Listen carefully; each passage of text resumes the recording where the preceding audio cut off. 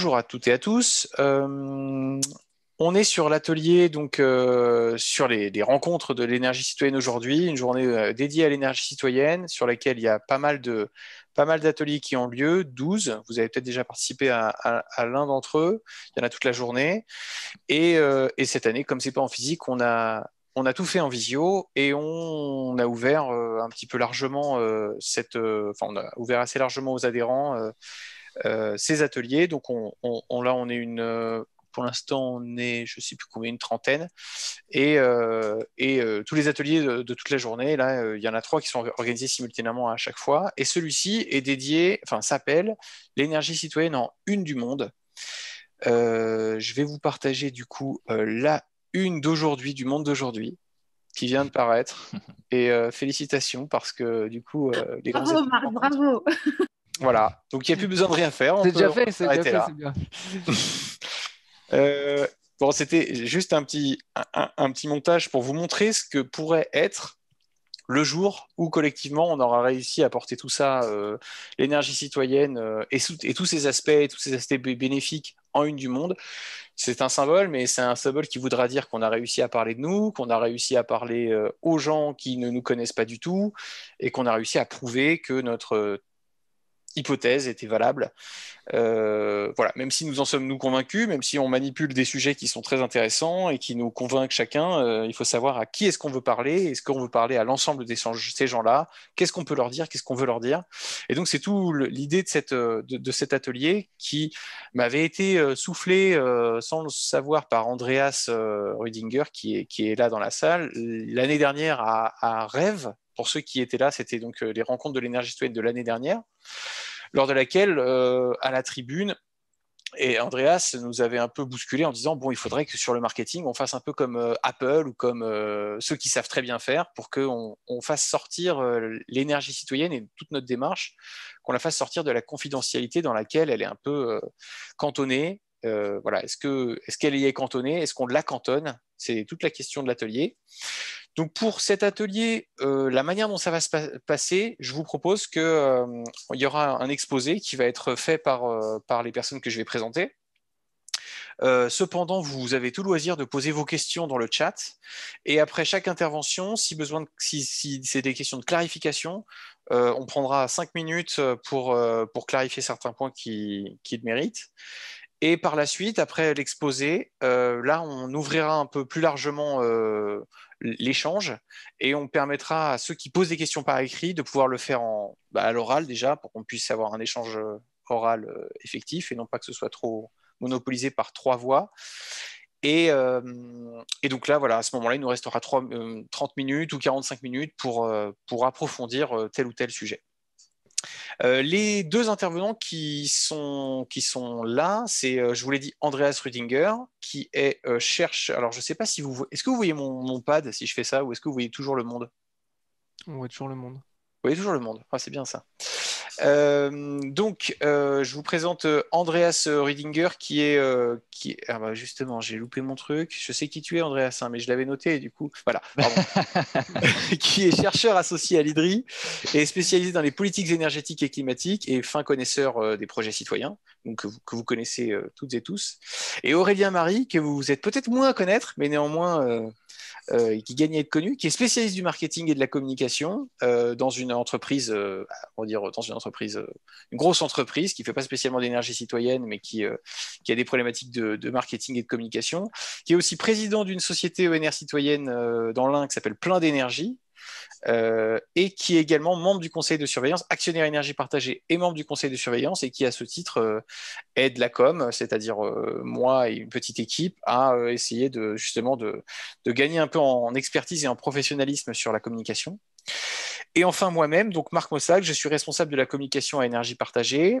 Et donc, au-delà de penser justement de penser constamment à ce genre de sujet, j'ai aussi été amené à former des, des collectifs de citoyens euh, donc dans un peu toutes les régions, une trentaine de formations depuis cinq ans euh, pour euh, justement, on va dire, essayer de professionnaliser ou donner quelques outils pour la communication des projets d'énergie renouvelable. Voilà. On va se lancer maintenant dans le, dans le programme qui commence par une intervention sur le diagnostic et, le, et les éléments de contexte par Andreas. Andreas, c'est à toi. Merci.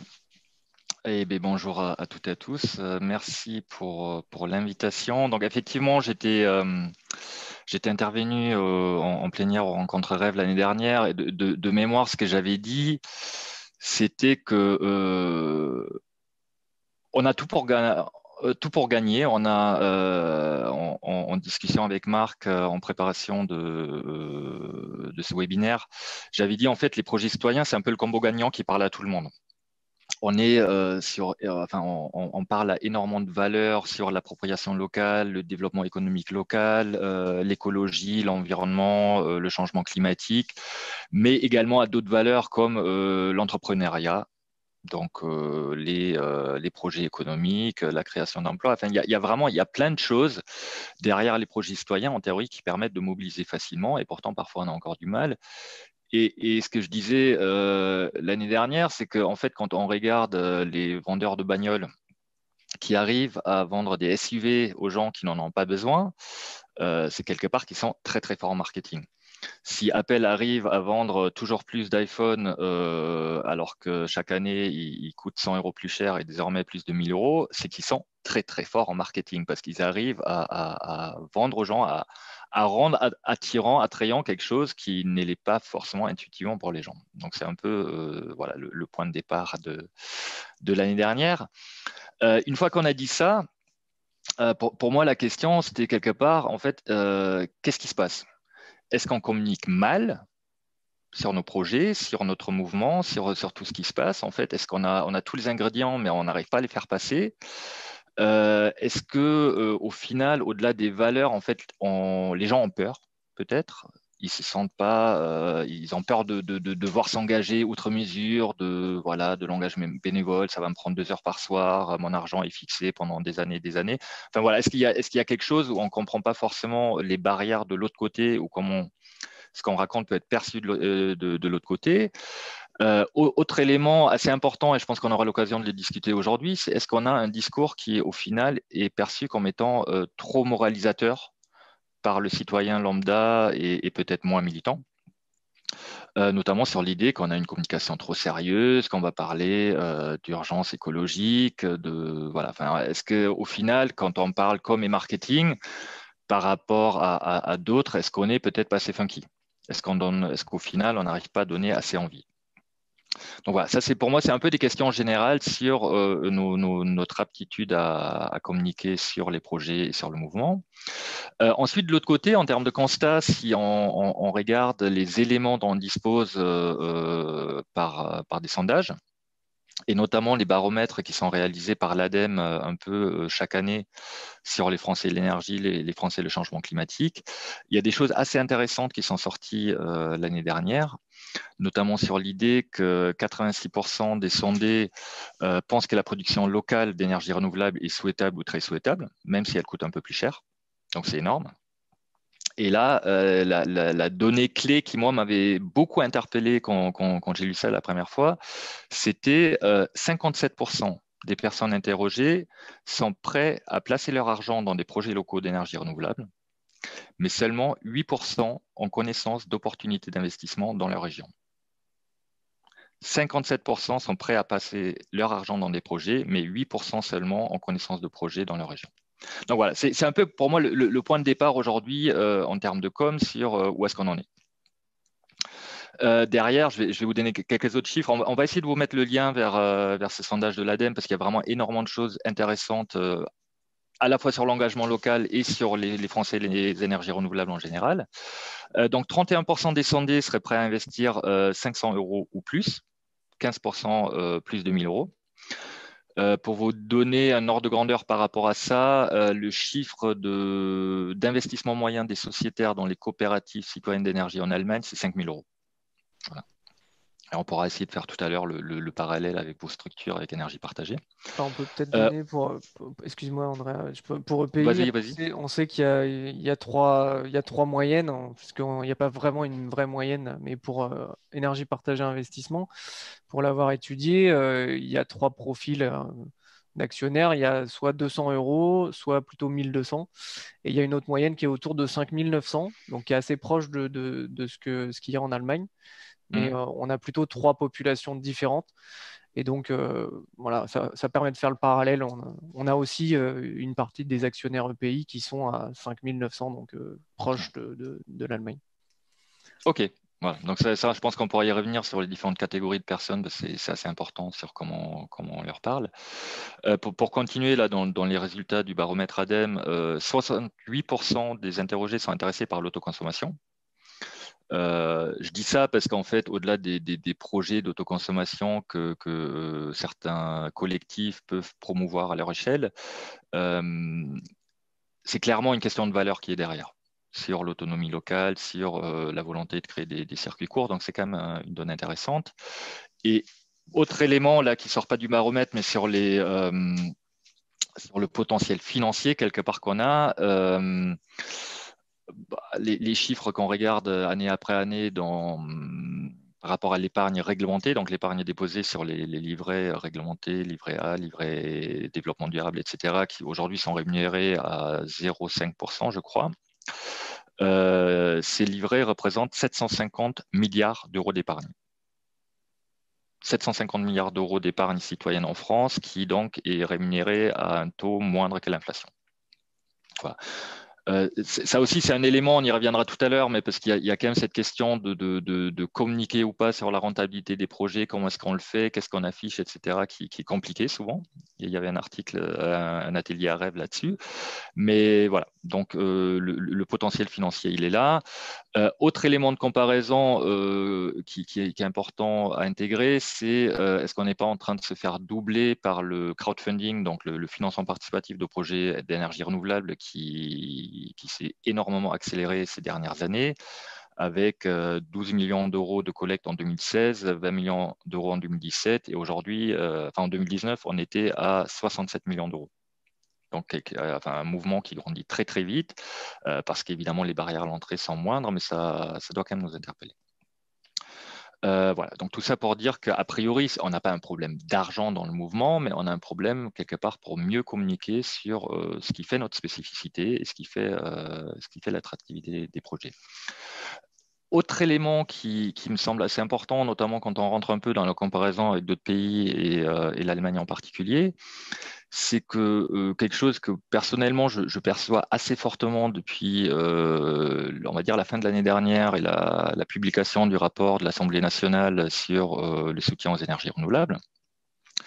J'ai l'impression qu'on revient de nouveau très fortement dans un débat sur pourquoi est-ce qu'on fait des énergies renouvelables électriques en France ce qui n'est pas clair pour la majorité euh, des citoyens, des acteurs économiques euh, et politiques euh, également. Donc c'est un peu le, discours fortement poussé par Jean-Marc Jancovici et d'autres de dire on n'a pas besoin de, de NR électrique tant qu'on a du nucléaire et c'est quelque chose que je trouve, enfin, c'est un, peu un problème qu'on retrouve aussi, nous, au sein du mouvement et, dans la communication des projets. En fait, est-ce qu'on arrive à communiquer sur le changement climatique ou pas, alors que bah, remplacer du nucléaire avec des énergies renouvelables électriques, on ne baisse pas forcément les émissions. Et hum, j'avais interpellé quelques porteurs de projets là-dessus euh, lors d'un atelier qui avait été organisé à Blain l'année dernière.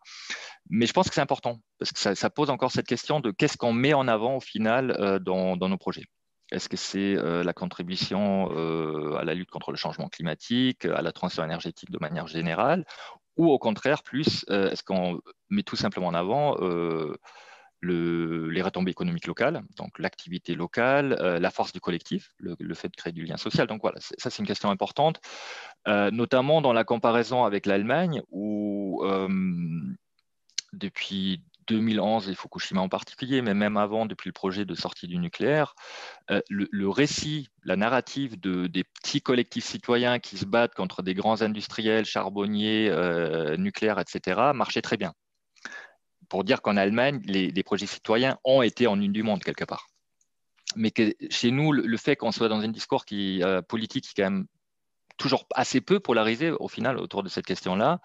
Euh, on a forcément du mal et on a également du mal à faire comprendre aux gens pourquoi on fait ces projets-là. Euh, je pense que je m'arrête là pour l'instant en tant que premier, premier cadrage. Oui, merci Andreas. Effectivement, là, tu, as réussi à, enfin, tu nous as aidé à comprendre euh, en quoi on a, finalement pas mal d'or entre les mains. Euh, et même quand on a moins d'or que ça, on arrive, enfin certains arrivent à bien communiquer. Du coup, on peut se dire, bon, bah, si on a de l'or entre les mains, ça veut dire que le problème vient sans doute euh, plutôt de la manière dont on, dont on, le porte, de la manière dont on le, dont on le travaille. Donc, Aurélien, euh, est-ce que toi, euh, du, du, nombre, des nombreux points de vue que tu as là liés à l'énergie citoyenne, est-ce que tu peux, tu, tu, peux avancer quelques idées et pistes d'ingrédients pour qu'on arrive mieux à se valoriser ou qu'on puisse au moins identifier là où on le fait moins bien que qu'escompté? Oui, alors je alors je, je prétends pas prétendre euh, que je connais la vérité ou quoi que ce soit, si ce n'est que je sais ce que ce que des grosses sociétés euh, internationales font en termes de marketing euh, pour pour vendre des produits, puisque c'est mon métier et je travaille dans le grand public pour pour, pour, vendre des produits euh, de bricolage. Et donc, euh, à l'échelle européenne, donc, euh, je, je, vois à peu près qu'est-ce qu'on sait faire en termes de pub télé, d'affichage de, Facebook et j'en passe. Euh, et j'essaie de faire le lien entre euh, bah, le, conseil de, surveillance d'énergie partagée avec la vue nationale et puis euh, mes, actions dans, au sein de la société coopérative que, j'ai dans la plaine de l'Inde, donc très locale. J'essaie de faire le lien entre les deux pour essayer de trouver un peu des, pistes ou des recettes, ou en tout cas les questions clés qu'il faut, qu'il faut se poser. Et donc, euh, je peux, euh, en préparation de cet atelier, on, a, listé en gros trois gros piliers. Euh, et, Andreas, tu as commencé à, les mentionner, donc n'hésite pas aussi à, partager avec moi. Mais en gros, le premier, c'est pour, pourquoi on fait ça? Quels sont les objectifs? Il faut qu'on soit clair, si on veut changer d'échelle, sur qu'est-ce qu'on veut faire, qu'est-ce qu'on veut communiquer. le deuxième, c'est connaître à qui quels sont les profils des gens à embarquer, qui, on est, donc quelle est notre image de marque, qu'est-ce qu'on veut véhiculer comme image citoyenne, euh, et euh, quel est le profil des gens qu'on veut embarquer? Parce que euh, bah, en fonction du profil des gens, on va avoir des, éléments de langage, on va avoir une façon de communiquer qui est différente et surtout des sujets qu'il faut absolument couvrir pour que les gens se, mobilisent. Et le troisième pilier, donc pourquoi, qui? Le troisième pilier, c'est quoi? Donc quels sont les messages clés Donc on va revenir sur une notion de proposition de valeur euh, par rapport aux tendances citoyennes, mais aussi à la concurrence, euh, puisqu'on parle des crowdfunding, etc., ou de la finance en général, ou, euh, des projets euh, menés par euh, d'autres sociétés qui ne sont pas citoyennes sur les ENR, euh, on peut les attribuer à de la concurrence quelque part, puisqu'ils communiquent aussi en même temps que nous. Et donc, c'est, il faut qu'on soit clair sur, euh, sur notre proposition de valeur et comment est-ce qu'on va le faire. Et donc, je vais essayer de vous donner quelques éléments sur, sur qu'est-ce que peut être un plan de com ou, ou, des grands outils sur, le, sur le grand public qu'on pourrait, pourrait déployer. Mais donc, pourquoi, qui et, quoi ou comment. C'est les, gros, euh, les gros axes. Donc si je commence par le premier, euh, être clair sur ce qu'on veut faire. Euh, on a vu qu'il y, il y, a, des enjeux qui sont un peu différents dans, ce que, dans les projets citoyens. Il y a l'enjeu financier, comment est-ce qu'on fait pour augmenter le nombre de personnes qui investissent, donc le nombre de citoyens qui investissent dans les ENR. Il y a augmenter le nombre de porteurs de projets, donc multiplier les projets citoyens. Et il y a augmenter euh, le nombre de citoyens qui sont engagés dans l'énergie citoyenne. Et, quand on dit engagé, il y a deux, axes. Donc, c'est soit participer à un projet, euh, soit euh, ne, serait-ce que rendre visibles les projets citoyens qui existent déjà. et ça, c'est une, question, c'est un peu de l'image de marque quelque part.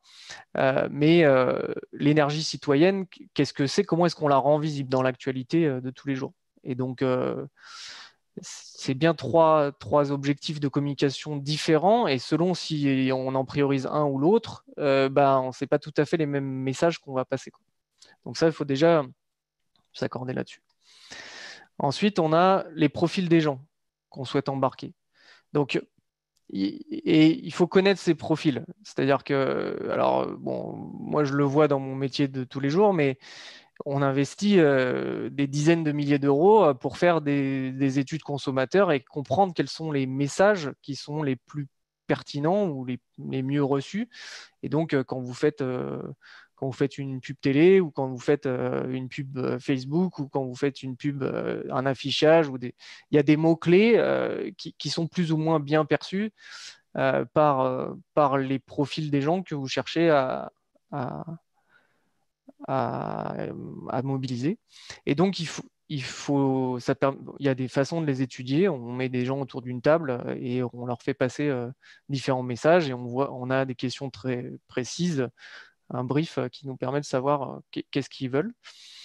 mais on peut aussi mobiliser nos, nos, actionnaires, nos, nos, nos collectifs pour demander quelles sont les attentes. Et donc ça, ça passe par des questionnaires.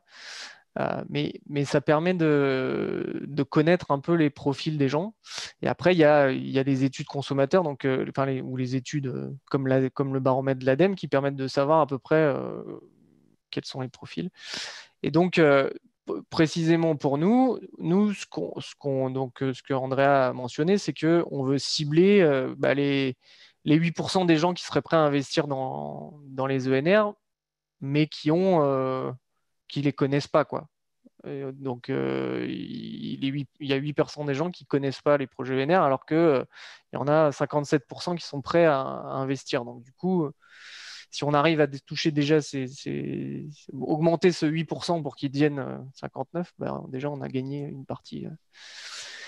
Et, après, donc on a tous les gens qui ont des livrets A, des, PEL, des assurances vie. Ben, si on arrive à les, à les rassurer sur, euh, sur les investissements citoyens, donc, euh, donc les gens qui sont sur des PEA ou des, ou des PEL. En gros, ce qui, dans le profil, on a des notions de sécurité, de liquidité, euh, solidité de placement. Et donc, si on arrive à communiquer sur ces axes-là, ben, on va pouvoir faire, faire contribuer ces gens-là vers, de l'énergie citoyenne.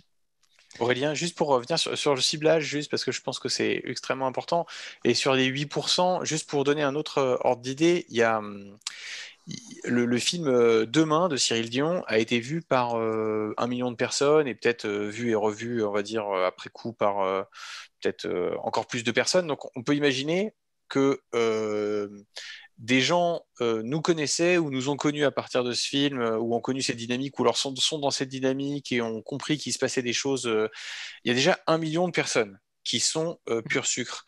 Nous, alors à l'échelle de pays, c'est peut-être 6500 personnes. À l'échelle de l'énergie citoyenne, c'est peut-être 15 000, 20 000 personnes engagées.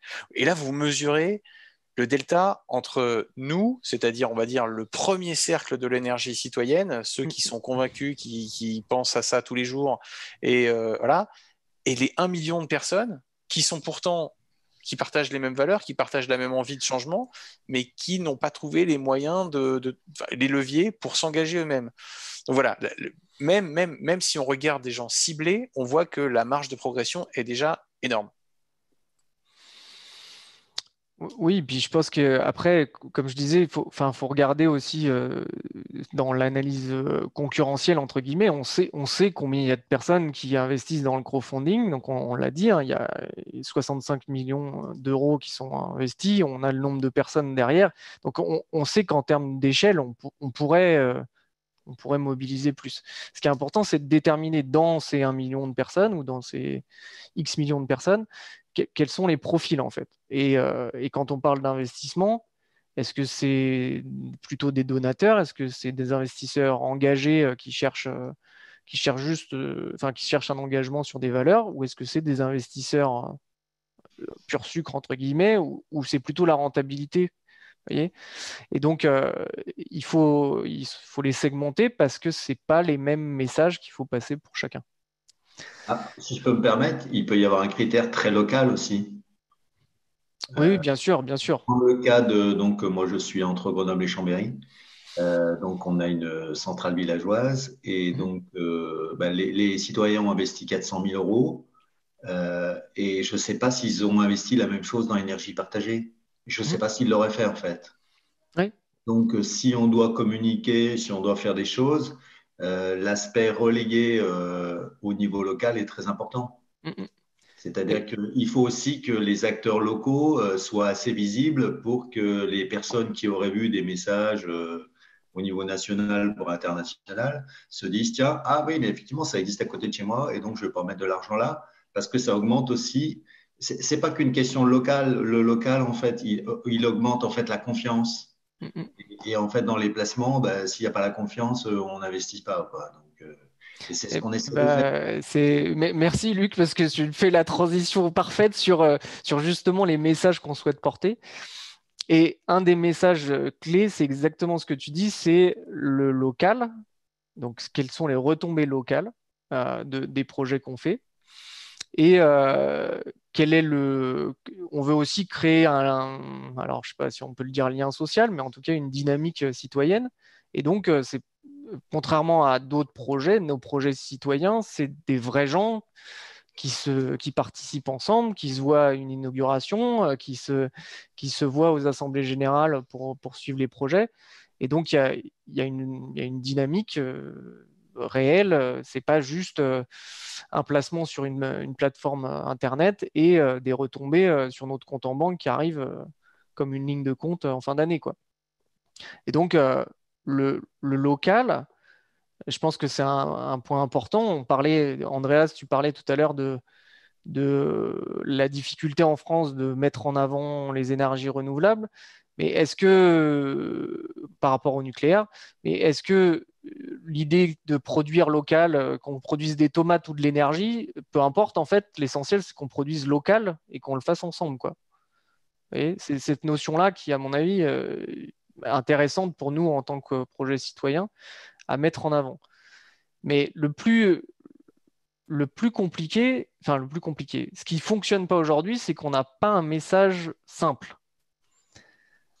On a, euh, quand on parle du, des projets citoyens, J'imagine que la plupart d'entre vous, la première chose que vous allez faire, vous allez, vous allez expliquer que euh, alors des projets citoyens, c'est euh, plus de démocratie avec euh, une gouvernance qui est partagée, c'est donc une personne, une voix, c'est des collectifs qui se, qui se regroupent avec des assemblées générales, c'est des retombées locales, c'est et en fait quand on vient quand on vient mettre des messages un peu trop complexes, du coup on perd on perd, on perd de vue oui, mais c'est peut-être parce que, si je peux me permettre, on, a, comme vous disiez au début, hein, euh, je, rejoins ce que disait, euh, j'ai oublié son prénom. Andrea. Voilà, donc euh, en fait, c'est peut-être parce qu'on n'est pas allé au bout de la communication, en fait. Parce qu'en fait, cette participation citoyenne dans, dans, un, dans, dans, des images, ça peut être simplement le sourire d'une femme, d'un homme qui est bien chez, localement dans son village. Et, en fait, c'est pas la peine d'avoir des mots, on l'a dit, voilà il, a le sourire, ça va bien, il fait des choses et basta. Et donc, c'est même plus la peine de le dire. Donc, je pense que, y a, et c'est normal, on en est au début, donc euh, OK. Mais à un moment donné, euh, on pourrait analyser en fait la communication euh, bah, comme on le fait dans, les grandes entreprises. Bon, moi j'ai aussi été un peu là-dedans. Hein. Voilà. Donc, et, mais ça, donc ça, et, et je voulais ajouter aussi les, les, Luc, je te Luc, excuse-moi, je te coupe parce que euh, on, fait les, questions après, les interventions. J'ai peur que du coup, par, par ton intervention, tout le monde se dise tiens, j'ouvre mon micro et je vais pouvoir parler. Et là, du coup, je m'en sortirai pas. Si ça te dérange. Non, c'était très intéressant, il n'y a pas de problème, mais c'est juste pour te dire on, finit peut-être ce que Aurélien voulait nous dire. Euh, ce que tu dis sur les messages, j'ai l'impression qu'on est assez synchro, donc on va y retourner, on va y repasser. et, euh, et puis après, on fait l'échange un peu à bâton rompu tous ensemble. D'accord? Ok. Aurélien, je te laisse terminer. Ça, marche. Euh, donc, mais ça fait le lien, parce qu'en fait, ce que je voulais vous dire, c'est il faut qu'on soit clair sur la proposition de valeur. C'est quoi les, bénéfices qu'on les bénéfices ou les qu'est-ce qu'on apporte en fait aux citoyens qui veut nous rejoindre? Donc par rapport aux objectifs que j'ai listés tout à l'heure ben, euh, c'est quoi les, messages clés qu'on veut donner, la proposition de valeur qu'on veut donner, qu'est-ce qui nous différencie du crowdfunding, qu'est-ce qui nous différencie euh, euh, des, sociétés qui investissent dans des projets ENR. Et donc, si c'est euh, le, local ou le lien social, si c'est euh, participer activement à un projet, bah, c'est ces choses-là qu'il faut mettre en avant et appuyer ces messages-là de façon très claire sans, sans, en rajouter 50 autour pour que le message passe en fait. Euh, et euh, bon, on parlait de l'Allemagne tout à l'heure, il y a une question sur la question de rentabilité ou de choses, enfin voilà, la rentabilité financière, ça fait partie des, sujets un peu tabous euh, qu'on a, a chez nous. En Allemagne, c'est pas du tout le cas. Il n'y a pas de honte par rapport à ça, et donc il faut aussi pouvoir communiquer sur ces axes-là. On ne peut pas évacuer certains sujets et donc, euh, les sujets de rentabilité, bah, il faut pouvoir l'aborder à un moment ou un autre, quitte à dire euh, il y en a moins euh, et on, priorise le réinvestissement. Et voilà comment est-ce qu'on le fait, comment est-ce qu'on réinvestit. Mais au moins, c'est clair. Ne pas en parler, c'est laisser la porte à, d'autres gens qui vont le faire beaucoup mieux que nous, qui vont le mettre en avant dès les premiers éléments de com, et du coup vont orienter les gens plutôt là-dessus. Et donc ça, ça c'est les messages clés. Après, on a l'image de marque.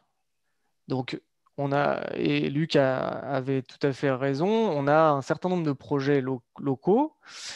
Euh, on a du mal à les identifier tous ensemble. Alors, il y a, beaucoup de choses qui ont évolué et, qui, vont, bien dans, ce sens-là. On voit, euh, bah, on a maintenant la carte de France, on a euh, le tableau de bord qui donne la visibilité des différents projets. Donc, on arrive à relier les projets ensemble. Ce qui, serait intéressant, c'est qu'on ait, euh, bah, comme Énergie Partagée essaie de le faire, les projets labellisés citoyens. Ça permet de dire, bah, voilà, ces projets-là sont citoyens. Contrairement à d'autres, ceux-là sont citoyens. Et, ce label-là, entre guillemets, même si ce n'est pas vraiment un, label au sens label du terme, bah, ça permet de se dire, voilà, l'ensemble des projets sont labellisés comme ça, tout comme on a les centrales villageoises qui disent bah, tous les projets sont centrales villageoises. Ça, permet de se dire, euh, j'ai ma vue locale, mais ça fait partie d'un ensemble qui est un peu plus gros qui, sont les projets citoyens au, niveau macro, qui sont les centrales villageoises entre les deux, et euh, qui descendent au niveau local. Ça permet de faire le lien entre les deux. Et pour les structures nationales, je pense qu'il y a des, choses qu'il faut mettre en avant. Le, label Finansol ou les statuts ESUS, c'est des choses qu'il faut pouvoir mettre en avant parce que c'est des différenciants et, il y a, y a des organismes derrière qui, qui, euh, qui valident euh, ces labels-là. Donc pour l'image de marque, je pense que c'est important. Il faut qu'on puisse dire qu'est-ce qu'on est plus et qu'est-ce qu'on est moins. Euh, on est plus citoyen, on est plus démocratique, on a plus de retombées locales, on, est moins, on a moins de moyens, on a moins de rentabilité court terme, on a de moins grosses structures, mais on a aussi moins de blabla commercial et on, voilà. Donc, vous voyez, je, vous donne des exemples à, la volée comme ça, mais c'est plus et moins, et euh, ça permet de se positionner, que les gens identifient clairement qui, on est. Quoi. Et le dernier aspect que je voulais évoquer, euh, et du coup, je suis un peu en retard du coup, mais je vais, essayer de, vous faire la synthèse, c'est comment est-ce qu'on va le faire. Donc, si on veut être demain à la, à la une du monde, comment est-ce qu'on veut le faire? D'abord, il faut faut massifier, il faut investir dans, dans le marketing et la com. Alors, je sais pas. Euh, bon, déjà d'un point de vue général, faut que je, dans, les, dans la, plupart dans les sociétés ou dans, dans les grosses sociétés, dans la grosse société dans laquelle je travaille, le, le budget com ou marketing, il est assez conséquent. Euh, on parle, euh, je sais pas, on parle entre 3 et 6% on va dire, du chiffre d'affaires qui est investi en marketing. D'accord? Et donc, euh, on parle de millions d'euros. Alors, nous, on n'a pas forcément les millions d'euros euh, à investir. Mais ceci dit, euh, il faut savoir que bah, voilà, il y a des sociétés de projets, les sociétés comme EDF, e Total, etc.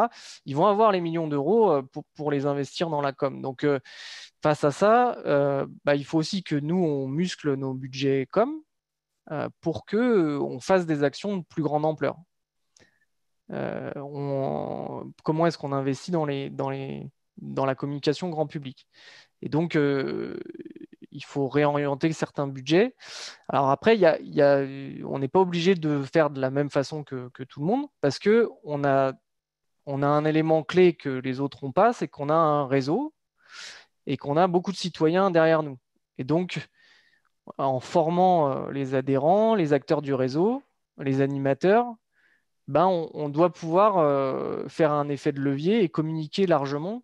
Sur si on communique tous sur les, les, projets citoyens de la même façon ou avec les, des éléments de langage et des bannières pré, prédéfinis, on est capable de le faire sur, bah, sur presque les 204 projets de la France. Quoi. Et donc, en termes de visibilité, on, on, peut, on peut en avoir beaucoup d'un coup. Le, deuxième élément qu'on peut mettre en avant, c'est que comme on est nombreux, on peut bénéficier des réseaux sociaux. On peut, euh, si on les utilise correctement, tout ce qui est investissements commerciaux de ce type-là, les influenceurs, les blogueurs, etc., on peut mener une, stratégie marketing basée sur des réseaux, les réseaux sociaux qui, permettent de, communiquer largement euh, euh, en utilisant ces médias-là. Mais, il faut un plan, il faut un plan collectif pour, pour qu'on sache, bah voilà, telle période on communique ça, telle période on communique ça, etc. Mais il faut euh, mais on peut utiliser les réseaux sociaux. Donc on peut utiliser le réseau, on peut utiliser les réseaux sociaux. Et après, il faut qu'on investisse dans la communication grand public. L'Allemagne est capable de faire des affichages euh, de sociétés coopératives sur les bus, etc. Euh, et euh, les, arrêts de bus, pourquoi est-ce qu'on ne serait pas capable de le faire? Pourquoi est-ce qu'on ne pourrait pas mettre en avant les sociétés locales euh, Et on arrive à le faire via les collectivités, par exemple, dans les, dans les affichages en mairie, etc. Mais il faut qu'on arrive à le faire de façon plus, plus large. Donc, en communication grand public, il, faut qu'on investisse là-dedans. le dernier aspect qui, qui, était un des sujets du, du de l'atelier, c'est utiliser la presse. Et donc, utiliser la presse. Qu'est-ce que ça veut dire? Ça veut dire créer un relationnel régulier avec la presse pour qu'il y ait déjà une meilleure compréhension technique et financière de, tout ça, parce que des fois, on voit que la communication n'est pas forcément terrible, mais surtout créer ce relationnel pour que sur les, besoins d'actualité qu'ils ont, parce qu'ils vont en avoir, ils en ont régulièrement, ils ont régulièrement des articles à faire hein, où euh, il y a des événements liés au gouvernement, des nouvelles lois qui passent, où ils voudraient avoir des exemples concrets.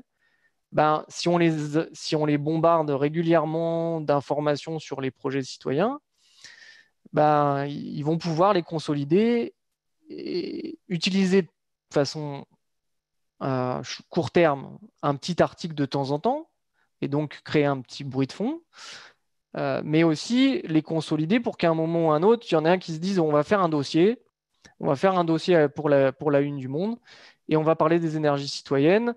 On m'a donné euh, tout ça de contenu, c'est suffisamment facile pour moi. Euh, si je contacte telle et telle personne, je vais pouvoir faire le dossier et monter un article complet d'une page sur les énergies citoyennes et les mettre dans le monde.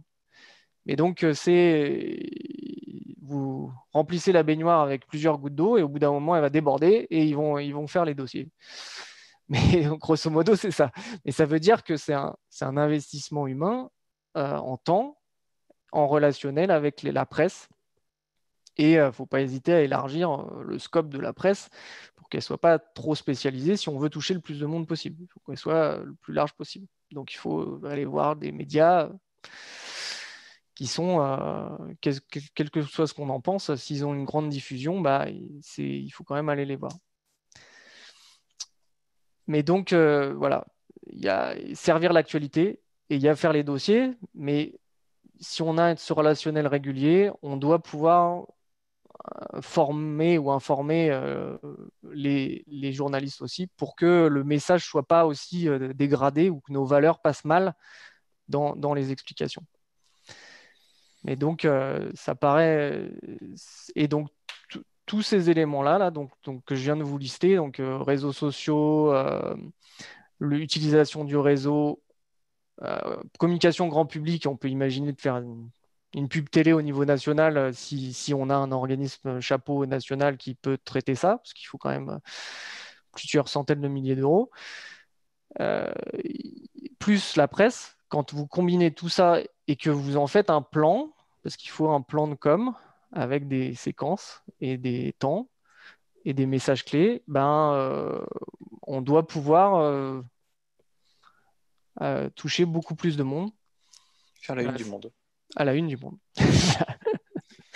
Ben, merci Aurélien. On va revenir sur tout ça, mais ce qui est intéressant dans ton intervention, c'est que tu utilises des mots euh, et, tu, et tu as des, tu as des, des mécaniques de communication qui sont différentes de celles qu'on est euh, habitué à, utiliser ou à vouloir utiliser. Quand on parle de cible, quand on parle de concurrence, quand on parle de, réseaux sociaux, quand on parle d'études euh, de, consommateurs, tout ça, c'est les mots que nous, on n'a pas l'habitude de faire parce que nous, on est, tranquillement calfeutré dans, dans le confort de notre euh, bien-pensance de projet citoyen il faut dire ce qui est. On, est, on, a, on, a, on a ça. C'est qu'on est, on est, on, se connaît, on se connaît tous et on, est tous convaincus qu'on est tous d'accord. Et on ne sait pas très bien si on a envie de parler à ceux qui ne sont pas d'accord avec nous. C'est un peu la difficulté. On n'est pas tout à fait sûr d'avoir envie d'avoir ce genre de débat. On n'est pas tout à fait sûr d'avoir envie de parler à tout le monde. Et donc euh, là, on parle finalement de quoi on, de quoi on, où est-ce qu'on veut aller? Qu'est-ce qu'on veut vraiment faire? Est-ce qu'on veut se donner les moyens? Est-ce que la fin justifie les moyens? Est-ce que la fin justifie certains moyens? Euh, voilà, et, c'est toute la question qu'on a. effectivement, là, tu parlais d'une communication qui est plutôt nationale, massive, qui n'est évidemment pas du coup la communication de chaque projet. On reviendra là dans un troisième temps sur au niveau des projets comment, plutôt comment faire. Mais au niveau national, effectivement, ça nécessite que collectivement, on, on se mette un peu d'accord sur euh, est-ce qu'on veut sortir de notre chrysalide ou est-ce qu'on y reste? Andreas, tu voulais peut-être. Euh, oui, pardon, vas-y, mais je sais qu'Andreas pourrait vouloir réagir euh, juste après. juste, juste pour euh, rebondir par rapport à ce que tu dis, l'avantage, de, de, communiquer largement sur une image de marque, entre guillemets, projet citoyen, c'est que ça, ça toutes les communications larges vont retomber en fait sur les projets locaux. Euh, à partir du moment où ils sont labellisés, que tu retrouves les éléments de langage dans les projets euh, locaux, ben, euh, c'est les projets locaux qui vont en bénéficier. On ne cherche pas à, on cherche pas à, financer un organisme ou à, financer largement. Ce qu'on veut, c'est de rendre visible, en fait, rendre visible l'action qui est déjà faite, puisqu'il y a déjà des, grandes choses qui sont faites. Et, du coup, il y a beaucoup de gens qui ne sont pas au courant, on le voit, 8% euh, des gens qui sont au courant. Euh, et, mais aussi, ben, à ramener du monde en, plus sur nos projets citoyens et donc d'aller sur ces axes-là, qu'on veuille leur parler ou pas, si on veut changer d'échelle, euh, on n'a pas trop le choix.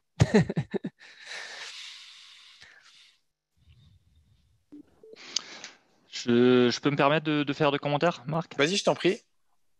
Euh, bon, je pense qu'on a touché à, énormément de, choses déjà parce que euh, ben, la communication au final c'est un grand champ et qu'on peut y mettre euh, plein de choses derrière. Dans, ce qu'il disait Aurélien, moi j'ai l'impression que déjà il, faut qu'on arrive à distinguer un peu dans les cibles. D'un côté la communication auprès des futurs financeurs, investisseurs de projets. Et moi une question qui, me paraît beaucoup plus importante aujourd'hui parce que je disais tout à l'heure, moi, ma thèse de départ, c'est on n'a pas un problème d'argent. Et, bon, on pourra en discuter parce que ça peut varier de projet en projet, mais j'ai l'impression qu'on arrive à faire financer les, projets, euh, pas forcément aussi facilement qu'on le souhaite, mais on y arrive. Moi, l'enjeu euh, que, je pose là dans le débat public, c'est comment est-ce qu'on mobilise les porteurs de projets de demain? En termes de, changement d'échelle, de massification, c'est vraiment ça mon sujet. Euh, et, je pense que pour y arriver, en se disant euh, l'enjeu, c'est pas 2021, c'est pas l'année prochaine que ça se passe, mais c'est euh, il faut acculturer, il faut faire en sorte que dans, dans 5 à 10 ans, on ait, comme, comme, le disait Aurélien, la baignoire qui déborde. Et donc, en fait, il, faut se donner cette vision de, de, long terme. Et du coup, cette notion de bruit de fond me paraît super importante. Comment est-ce qu'on fait en sorte que nos sujets lentement prennent une place plus importante dans l'espace public, euh, de manière très directe ou inconsciente, arrivent chez les gens, leur parlent, et que euh, et du coup, il y a un peu cette réflexion qui monte euh, donc là-dessus, il, y a plein de choses à faire, mais je pense que c'est déjà important de, distinguer entre les deux. Sur la notion de, rentabilité qui avait été évoquée, bon, c'est un autre sujet que, que j'évoque souvent parce que j'ai parfois l'impression qu'on est trop timide là-dessus qu'on ne va jamais communiquer sur de la rentabilité parce qu'en fait, dans le mouvement, c'est un peu honteux aussi. de se dire, ben non, on n'a pas envie d'être rentable parce que justement, on n'est pas comme les autres. Moi, j'ai toujours dit, euh, bah, il y a de la bonne rentabilité et on peut communiquer sur la rentabilité d'un projet. Après, libre à chacun de dire est-ce qu'il faut faire une répartition individuelle ou collective. À mon avis, le, vrai élément aujourd'hui euh, en termes de com qu'on a à disposition de tous les projets locaux et du national et qui fait la différence parce qu'il est facile à comprendre, c'est l'étude sur les retombées économiques locales. C'est de, en fait, arriver à décaler le débat euh, pour dire, en fait, euh, c'est pas la rentabilité individuelle, mais nous, on a deux à trois fois plus de retombées sur le territoire. Ça parle à tout le monde. Personne peut, peut en fait donner un contre-argument à ça en disant non, j'ai pas envie de ça. Ça parle aux collectivités, ça parle aux, citoyens locaux, aux entreprises. Donc, je pense que c'est vraiment un des, premiers axes sur lesquels on peut, on doit communiquer aujourd'hui. Euh, en, termes de proposition de valeur. Sur le, les investisseurs, les futurs investisseurs, juste un commentaire parce qu'on l'avait, on l'avait abordé avec Aurélien en, échange préliminaire. Euh, quand on regarde cette énorme masse financière qui est aujourd'hui sur les livrets réglementés, donc je vous disais 750 milliards d'euros que les gens laissent euh, alors qu'ils perdent en, principe de l'argent par rapport à l'inflation, euh, on voit que ce qui est important pour les gens aujourd'hui, c'est euh, l'aversion au risque, donc le fait que cet argent est garanti, il n'y a pas de perte, et c'est la liquidité. C'est avoir l'assurance qu'ils peuvent euh, retirer cet argent quand ils veulent. Et je pense que c'est deux notions sur lesquelles il faut aussi qu'on travaille dans le réseau pour un peu se poser des questions sur les, futurs mécanismes qui nous permettent d'être plus forts là-dessus sur la dimension risque et sur la dimension euh, liquidité. Donc, il y a plein de choses à imaginer, un marché secondaire pour plus facilement revendre des titres, etc. Euh, voilà, pour, être plus simple en fait. Pour être plus, je, vous parlais au début des, barrières à l'entrée, donc ça, c'est vraiment quelque chose qui, est important. Euh, sur la communication en grand public, je pense que c'est hyper important, mais on l'a jamais fait. Je, enfin, Aurélien évoquait l'Allemagne, et c'est vrai que moi, quand, pour, pour m'être baladé là-bas assez souvent, on a vraiment l'impression que le sujet énergie transfert énergétique est omniprésent dans l'espace public. Il y a plein d'affichages publicitaires, euh, souvent d'ailleurs euh, par le gouvernement, par les autorités locales, sur euh, le chauffage, la rénovation énergétique, les énergies renouvelables. Dans le métro, j'ai vu des annonces pour un investissement dans des coopératives éoliennes. Non, c'est juste pour donner une idée, mais, cette notion de bruit de fond, il y a quand même, on, a, une énorme marge de progrès là-dessus. Ça demande des moyens, c'est sûr. Mais je pense qu'il faut aujourd'hui, vu l'ampleur que ça prend, il, faut avoir le courage de se dire on peut y arriver. À l'échelle du réseau, on peut créer des grandes choses et, ça veut dire quoi? Mais en, réfléchissant là encore sur 5 à 10 ans. Et alors, juste pour, compléter par rapport à ce que tu dis, Andrea, sur le, sur le bruit de fond, euh, il y a juste deux éléments complémentaires. Le, premier, c'est que donc sur le bruit de fond, si ce n'est pas les, projets citoyens qui, s'emparent de la génération de ce bruit de fond, on sait qu'on a euh, beaucoup de sociétés euh, ou de lobbies qui, qui communiquent aussi et qui créent des, qui créent des vagues ou des fake news euh, sur, sur les réseaux ou sur euh, les informations qui sont véhiculées. Et donc le fait de, de planifier une communication sur ce bruit de fond, sur l'actualité, ça permet de contrer aussi ça.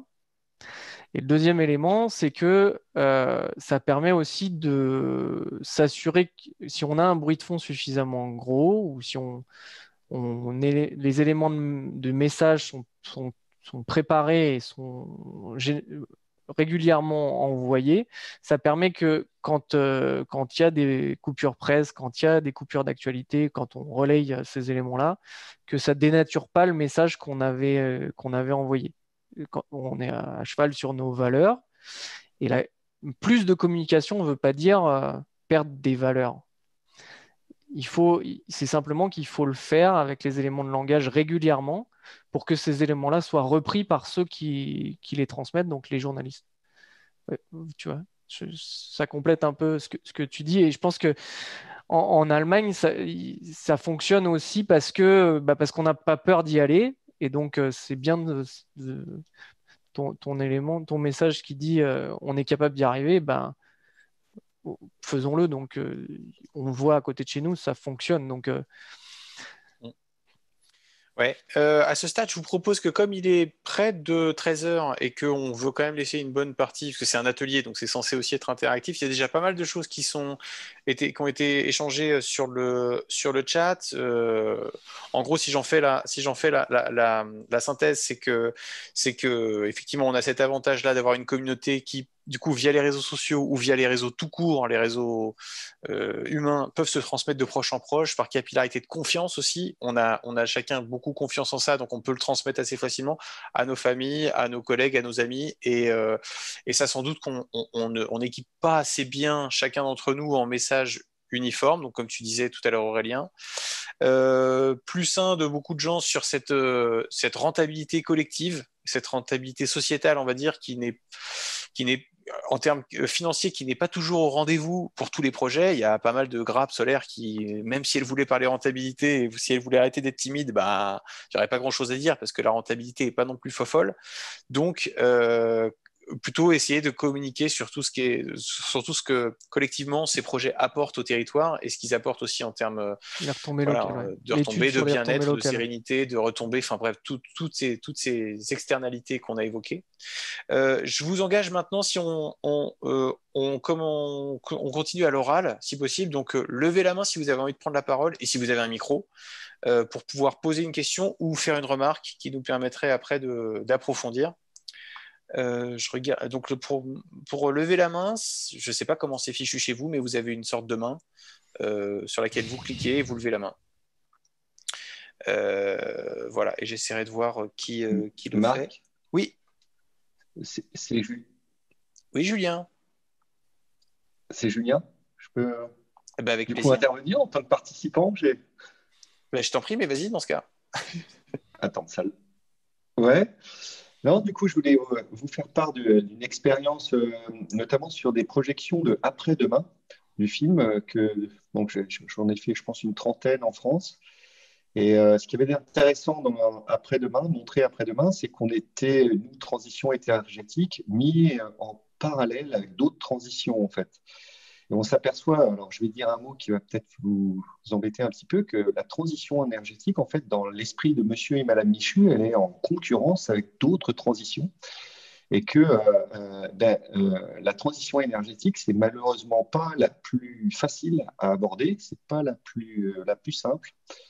même les meilleurs des porteurs de projets citoyens rentrent vite dans des kilowattheures, dans des choses voilà, qui font un peu décrocher et que donc il faut se, il faut se battre avec ça, nous, euh, porteurs, enfin communicants autour de, de, de, de, l'énergie citoyenne, c'est de, garder à l'esprit de raconter des belles histoires, malgré tout, même si c'est des fils, même si c'est des électrons, raconter des belles histoires et pour que monsieur et madame Michu aient envie de, de, venir nous rejoindre. Alors, je mettais quelques exemples dans le fil, parce que c'est vrai que euh, ce qui avait été frustrant quand on sortait d'une d'une euh, euh, projection après-demain, c'est que ça a motivé pas mal de gens pour faire du zéro déchet, euh, parce que c'est rigolo de faire baisser la, taille de sa poubelle, faire se lancer dans une transition plutôt alimentaire, parce qu'une pomme bio, c'est chouette et tout.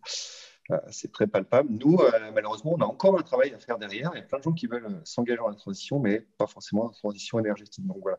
Donc ça, c'est un vrai boulot. Je pense qu'on a un outil, par exemple, qui est assez intéressant là-dessus, c'est euh, Ma propre énergie, qui vient déjà euh, apporter un récit là-dessus.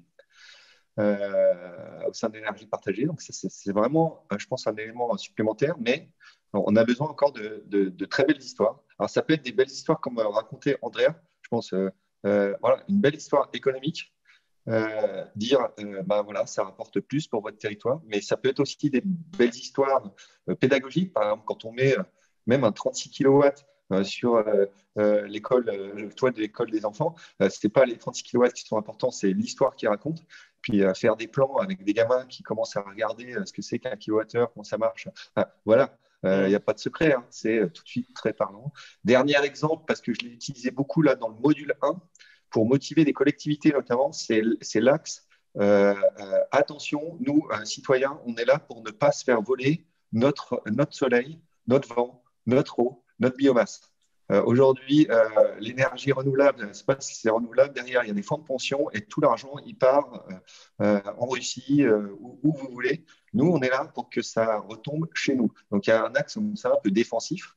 Mais bon, voilà, il faut choisir.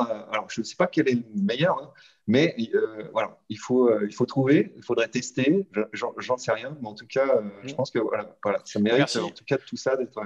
Ouais, et d'autant plus que la, la différence de, de beaucoup d'autres causes ou d'autres oui, on va dire cause, on a l'avantage d'avoir plein de petites histoires. On en a autant de projets. C'est-à-dire que c'est ce, on s'est très documenté. On a beaucoup de contenu, beaucoup de matière. Alors peut-être trop, comme on disait tout à l'heure, parce qu'à la fin, ça fait un peu embouteillage de messages. Mais effectivement, on a des belles histoires à tisser. Est-ce que Andreas, Aurélien, vous voulez réagir sur ce que disait Julien? Oui, il y a des petites, euh, il y a des petites choses qu'on peut mettre en avant euh, pour justement expliquer, raconter une histoire. Euh, et, bon, le contexte actuel euh, s'y prête aussi, puisqu'on a, on a beaucoup de gens qui vont être plutôt sur le digital. Euh, c'est que par exemple, vous pouvez, il faudrait, on pourrait construire une vidéo un peu sympa, qui soit entraînante, qui soit virale, qui puisse se transmettre pour, pour véhiculer un message qui, soit, qui soit relayé un peu partout. Euh, quand on parle de retomber sur le territoire ou, euh, ou bah, ce que tu disais d'aventure humaine où on va avoir des inaugurations, où on va avoir des panneaux de communication faits par les enfants qui expliquent comment fonctionne la, centrale solaire ou, la centrale à chaleur, et ben ça, visuellement, ça peut être très impactant et ça peut engager les gens, mais ça veut dire qu'il faut le faire sur un format vidéo ou sur un format photo pour que, pour que les gens puissent le percevoir, en fait, pour, qu'ils puissent percevoir l'effet citoyen. Et donc, il faut construire un peu ces outils de com et pouvoir les partager dans le réseau pour que euh, bah, on puisse les utiliser. Donc la, BD, c'en est une, mais il peut y en avoir d'autres. Et c'est important qu'on soit un peu dans le réel aussi. Donc il faut, mais il faut construire ces outils-là.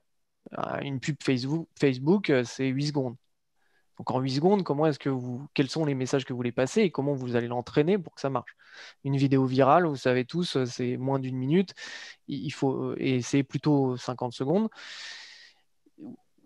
Voilà, il faut, il faut essayer de la faire pour que ce soit le plus impactant possible. Et donc, c'est des outils comme ça qu'il faut, qu'il faut créer et de se dire bah, comment je le relaye. Il ne faut pas juste le créer et le lancer dans le réseau, il faut, faut le relayer. Merci Aurélien. Euh, Andreas, tu veux réagir et puis après on passe à la question Oui, Très, très, rapidement, mais parce que ça, euh, ça m'interpelle aussi sur le, fait de raconter des, belles histoires. Euh, je pense qu'on peut. Et effectivement, il faut qu'on arrête de parler de kilowattheures et qu'on arrive à montrer des, sourires d'enfants. C'est complètement caricatural, mais, mais c'est clairement le sujet sur lequel on est on, a, souvent euh, énormément de mal, enfin que tout comme, comme Enercop va avoir du mal à expliquer pourquoi ils ont une offre 100% renouvelable qui est différente de celle d'Engie, parce que les gens ne le comprennent pas. Et s'ils vont sur ce terrain-là, ils ont déjà perdu parce que les gens prennent pas le temps de, enfin c'est trop compliqué, on, les perd. Et nous c'est pareil, il faut qu'on arrive à faire simple. Moi, en termes de, communication grand public, j'étais en train de m'imaginer quelque chose où, où tu essayes de monter un clip vidéo, une pub vidéo, qui vraiment va, agressivement argumenter sur la rentabilité, comme pourrait l'être une pub sur un investissement lambda. Et ce n'est qu'à la fin que euh, tu, transfères le message en disant oui, mais c'est la rentabilité pour le territoire, c'est pas la tienne. Mais tout le reste, enfin la, pub sur 90% du temps, elle fonctionne sur le code de euh, doubler la rentabilité de votre argent avec un investissement euh, magique du jamais vu, nanana, et hop, à la fin. C'est typiquement, voilà.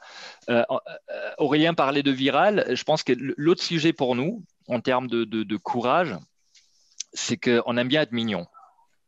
Et c'est un peu ce qui fait notre particularité, il faut le dire comme ça. On aime, on aime être cohérent sur nos valeurs raconter des belles histoires, mais on est des mignons. Et en fait, euh, un, registre qu'on a énormément de mal à exploiter, alors que c'est ce qui fait la particularité souvent euh, des, publicités ou de la com virale de manière générale, c'est l'humour, y compris l'humour qui clash un peu. Mais tout à l'heure, il y avait un peu cette question de comment est-ce qu'on sort de notre cercle de, de, profils euh, sociaux qui est le nôtre, qui est les, militants, les gens très engagés. Et je pense que du coup, il y a cette question des registres qu'il faut vraiment poser pour aller dans d'autres cercles. Et une, dernière question en termes de, courage là-dessus, c'est, euh, vous avez parlé de demain, d'après-demain, euh, c'est les ambassadeurs. Mais des ambassadeurs grand public, c'est le jour où on arrivera à mobiliser Zidane pour, pour être parrain du réseau énergie partagée, on, a quelque chose de différent. Pas uniquement par rapport au fait de parler à énormément de gens, mais parce que l'associer à quelqu'un qui ne vient pas de la sphère écolo de base, c'est important. Voilà. Donc là, je dis Zidane pour, pour, donner un peu l'idée, mais ça peut être quelqu'un d'autre. Mais c'est des idées qu'à mon avis, on n'a pas trop exploitées pour l'instant. Mmh. Tout à fait. Ben, merci Andreas. Ton idée de, vidéo euh, qui finit par se retourner sur la rentabilité me donne très envie. Euh, Jean-Marc, comment je te donne la, enfin, je vous donne la parole. Pardon, voilà, faut qu'on arrête de, systématiquement. Voilà.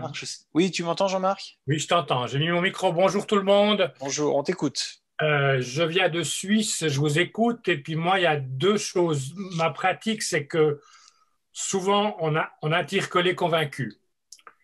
Euh, d'où l'idée, ce qu'on va essayer de proposer, c'est comme en France, des, des, initiatives citoyennes tirées au sort. On va essayer de faire ça pour des plans climat, parce qu'en fait, en tirant au sort les citoyens, on attire des, aussi des non convaincus et on doit se, se confronter à eux et puis essayer de, de les convaincre. Ma deuxième idée, une deuxième chose que, je suis persuadé, c'est tout l'aspect de l'autoconsommation. C'est-à-dire, vous savez, peut-être en Suisse, en tout cas, on perd énormément d'énergie euh, en les transportant par les réseaux. Et si, vous, si on arrive à promouvoir cette idée d'autoconsommation, on, on peut faire de l'énergie un bien commun. Donc, je suis tout à fait d'accord avec ce que vous dites. Il faut qu'on soit actif dans le domaine marketing publicitaire, mais nous, donc, on a créé une association euh, citoyenne pour l'énergie citoyenne. On essayera de faire ces, d'essayer de faire ces deux choses et surtout, bon, nous, d'influencer nos politiques pour qui, pour qu'on aille dans ce domaine, qu'on favorise l'autoconsommation et qu'on péjore la trop grande distribution d'énergie. Mhm. Voilà, c'est un peu des, idées un peu générales. Je suis très content de participer. merci Jean-Marc. Merci Jean-Marc. Euh, les réactions euh, qu'on peut avoir, alors moi du coup, euh, je vais vous donner la parole, Aurélien et, Andreas. Sur, sur l'autoconso, effectivement, là on est encore sur un autre message. C'est le message mm. d'essayer de montrer mm. qu'on est sur des énergies renouvelables naturelles, proches de chez nous, en lien avec notre consommation, d'un circuit court qui se fait au niveau local l'autoconsommation en fait partie, ça rajoute un message, ça rajoute une couche de technique, ça rajoute une couche de décryptage. Donc, euh, il faut aussi faire attention, comme on le disait, à pas compliquer nos messages euh, aussi, même si je suis d'accord que c'est un axe. Et, et c'est intéressant ce que tu disais au début sur, euh, sur les, tirages au sort. Effectivement, je me dis que si on tirait au sort les, participants au projet citoyen localement, il bah, faudrait déjà savoir s'ils viennent une deuxième fois ou s'ils sont vraiment très. Si ça les intéresse de continuer. Mais ce serait une expérience, enfin, je trouve intéressante. Aurélien, Andreas, est-ce que vous avez envie de, réagir ou on passe à la suite? Je vais réagir très rapidement pour, susciter le débat et je vais dire que l'autoconsommation est un énorme coup de marketing. Ouais. Et c'est génial. Ah C'est-à-dire qu'on a, on a énormément de choses à, en apprendre euh, parce qu'en fait, rien que le mot, aujourd'hui, il génère des fantasmes chez les citoyens, euh, chez les collectivités, chez les entrepreneurs et les développeurs. Et les gens s'imagine qu'un projet d'autoconsommation fait euh, que les flux d'électrons euh, fonctionnent différemment, alors que pas du tout. Que vous fassiez votre projet localement en, autoconsommation ou pas, c'est le modèle juridique, éventuellement le modèle économique qui change, mais techniquement, il n'y a absolument rien qui change. Et je trouve ça fascinant, parce que tous les gens en ce moment avec qui je travaille me parlent d'autoconsommation, euh, sur les communautés énergétiques, certaines choses, et c'est un gros coup marketing. Il faut s'en inspirer. Parce que ça, montre, ça montre la force des idées, la mm. force des valeurs, alors qu'en fait, il n'y a absolument rien qui change derrière. Et c'est comme ça qu'on vend des SUV. Mmh. C'est vraiment c'est dans cet esprit-là qu'il faut qu'on se mette. Oui, dans, auto, dans autonomie. Du coup, je euh, Luc, justement, justement, tu voulais parler juste après. À toi la parole. Eh ben, je suis tout à fait d'accord avec Andreas parce que cette histoire d'autoconsommation, c'est un coup de marketing technologique. Voilà, donc euh, les ingénieurs se font plaisir en nous disant qu'il va falloir mettre des trucs partout. Nous, on est dans le Grésivaudan, il y a 100 000 personnes. On va quand on, là, on, alimente 240 foyers en équivalent. Quand on aura fini notre, dans 10 ans, j'espère qu'on sera à 4000. Il y a 100 000 foyers, il y a donc 40 000 foyers. Donc, de toute façon, on sera toujours en autoconsommation locale. C'est-à-dire que les électrons, comme disait Andreas, ils vont pas aller à Paris pour revenir euh, donc à Grenoble, donc quand on aura besoin de les consommer. Si je les, si je les produis sur mon toit, ils vont soit chez moi, soit chez mon voisin. Quoi. Ils vont pas plus loin. Donc l'autoconsommation, elle est de facto. Donc arrêtons de nous raconter des histoires avec cette histoire de autoconsommation collective. Ça va nous freiner en fait. Ça va nous freiner. Est-ce que Luc, ton intervention initiale était là-dessus Non, non, pas du tout. Bah, Andreas s'est permis de réagir là-dessus, donc je réagis aussi. Je n'avais pas l'intention. Je, voulais, en fait, je voulais apporter sur les ambassadeurs parce que j'avais aussi ce que j'ai, écrit, c'est qu'effectivement, on, a à quand finalement une Greta Thunberg de l'énergie partagée Voilà. Ça, voilà. Et, c'est ça qu'il faut chercher en fait. Pour moi, on a vraiment besoin de deux types d'ambassadeurs pour faire du, du coup médiatique. Voilà, c'est du coup médiatique. Mais ça, ça marche. C'est comme ça que ça passe dans les médias. Voilà. Et puis, d'un autre côté, c'est comment faire, et là on peut s'aider mutuellement, comment faire pour que tous nos sympathisants deviennent des ambassadeurs. Moi, j'essaie de le répéter. À combien de personnes tu as parlé de Grisi 21 aujourd'hui quoi? Regardez, moi, je l'ai fait au moins une fois, ça sera fait. voilà, ok. Mais c'est ça, en fait. Mais c'est super important. Et si on pouvait s'aider, comment, comment on peut faire pour qu'effectivement. Je, je, vais hier dans une épicerie euh, voilà, que, que, je connaissais moins, je, je, je, leur demande, ils ne connaissaient pas Grisi 21. Bon, ben voilà. Euh, il y a toujours un moyen d'arriver à parler de, de, de choses. Et c'est comme ça que et c'est comme ça que tel bénévole, grâce à un contact au Crédit Agricole, nous a obtenu une subvention de 4500 euros. Voilà, parce qu'en fait, il en a parlé, il a joué le jeu dans, certaines choses et on a obtenu une subvention. Mais sinon, on l'aurait jamais eu. Mm, mm. C'est parce qu'il a osé en parler. Donc, voilà, bon, après, je ne vais pas prendre la parole plus que ça. Non, non, il n'y a pas de souci. la, communication, c'est mon dada aussi, donc euh, voilà.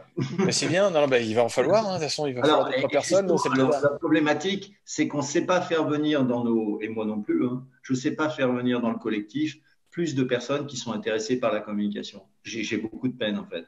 Voilà, et on est un peu seul, quoi. Et ben, mais ça, c'est un vrai sujet, quoi. Aurélien, comment est-ce que tu es arrivé à plein d'énergie? Comment est-ce qu'on a réussi à, ferrer un, spécialiste en communication dans un projet local? Euh, Parce que tu peux. Bah, comment on a fait? Alors, moi, personnellement, c'est parce que c'est dans mes valeurs. Et donc. Euh, et donc voilà, et donc quand tu, quand tu touches aux valeurs et que tu, tu vas tu vas appuyer sur ces éléments-là, bah, en tout cas, c'est comme ça que moi j'ai rejoint le, collectif. Et je pense qu'il y, en a, il y en a de plus en plus des gens qui ont les mêmes valeurs que nous. Euh, par contre, il faut, il faut trouver les bonnes façons de leur parler, en fait. Mmh. Et il faut qu'on fasse attention à ne pas être, paraître un peu trop militant parce que du coup, ça, pour certains, ça rebute euh, parce que c'est pas le même langage en fait, c'est pas le même. Euh, et c'est pour ça que je disais les messages clés, les mots qui sont employés, ils ont, ils ont un sens. Et, euh, donc à la fois raconter une histoire et, les éléments de langage. Donc quand, quand Luc, tu disais comment est-ce qu'on utilise les réseaux, je pense qu'il y a une formation ou, ou une information qu'il faut faire pour définir quels sont les messages clés et s'assurer qu'on a les bons outils, c'est-à-dire en termes marketing, c'est quoi le pitch euh, des 10 secondes quand vous croisez quelqu'un dans l'ascenseur qui va vous qui va dire euh, c'est quoi un projet citoyen? Vous voyez? Hmm. C'est quoi le pitch de, euh, des 30 secondes avec la boulangère qui va dire c'est quoi Grézy 21 ou c'est quoi plein d'énergie? Vous voyez? Et je rajouterais juste à ça aussi, Aurélien, c'est quoi le pitch en fonction de la personne que tu as en face, même si on ne va pas pouvoir à chaque fois s'adapter, mais on sait que dans certains cadres, on rencontre plutôt des gens qui sont intéressés par la partie montage de projet, par la partie euh, participation physique, euh, voilà, euh, en montage, et on sait que dans d'autres cadres, on va rencontrer des gens plutôt qui n'auront peut-être pas suffisamment de temps, mais qui auront pour le coup un peu d'argent. Donc, et là, c'est là où les messages sont différents, c'est là où les canaux sont différents, et on doit s'adapter. les profils qui sont différents.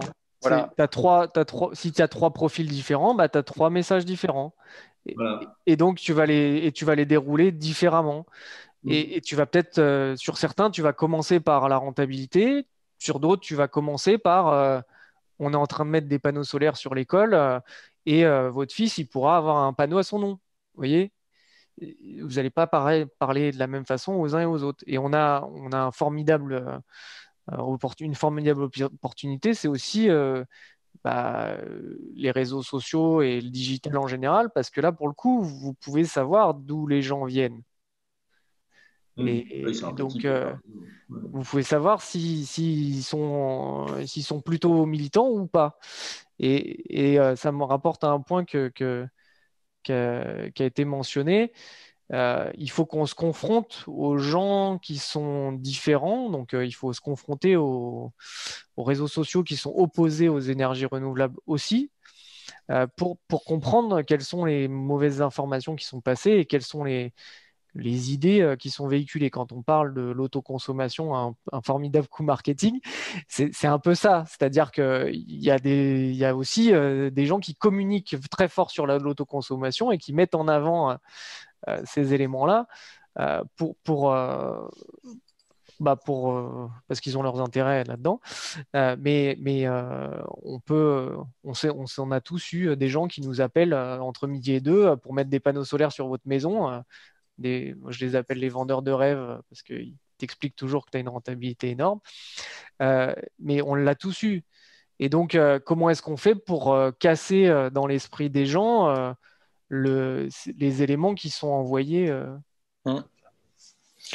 Et du coup, ça me, donne l'occasion de parler des, des, communications, on va dire plutôt des projets. On parlait en début, enfin pendant l'essentiel de l'atelier, de ce qu'on peut faire au niveau macro, ce qu'on peut faire au niveau de la France, ce qu'on peut faire, voilà, et du coup la une du monde. Euh, il y a une question d'Alexis qui parle de, de, quel, euh, quel lien avec la presse quotidienne régionale, quelles sont les bonnes pratiques en la matière. Alors là, du coup, un atelier euh, comme on le fait là est un petit peu court pour parler des bonnes pratiques. Je comptais le faire initialement des bonnes pratiques ou des bonnes choses à, à, avoir en tête quand on se lance dans un projet où, on va dire les, passages obligés, les, axes de méthode euh, prioritaires.